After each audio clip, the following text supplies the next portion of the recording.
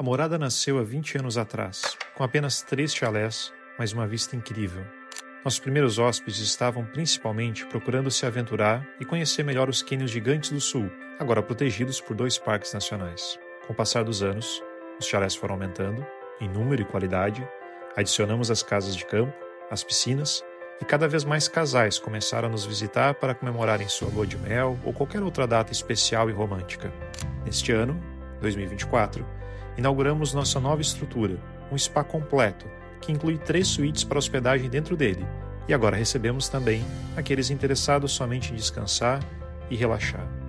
Privilegiada por um entorno incrivelmente belo, a Morada dos Canyons nasceu com a obrigação de estar à altura de sua localização única, com chalés, casas de campo e agora suítes.